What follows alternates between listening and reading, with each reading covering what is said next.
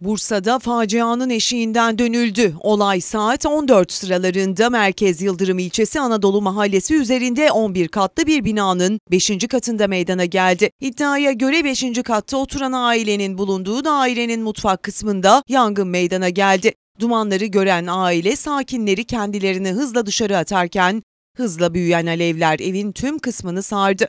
Durum üzerine vatandaşların ihbarıyla olay yerine çok sayıda itfaiye, sağlık ve polis ekibi sevk edildi.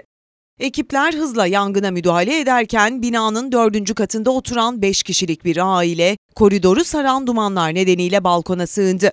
Aileyi fark eden ekipler itfaiye sepetiyle aralarında çocukların da bulunduğu aileyi bir bir aşağıya indirerek tahliye etmeye başladı. Yaklaşık bir saatlik mücadele sonrasında itfaiye ekipleri yangını söndürmeyi başarırken o anlar saniye saniye kameralara yansıdı. Dumandan etkilenen aileyi sağlık ekipleri ambulansta tedavi ederken polis ise olayla ilgili geniş çaplı soruşturma başlattı.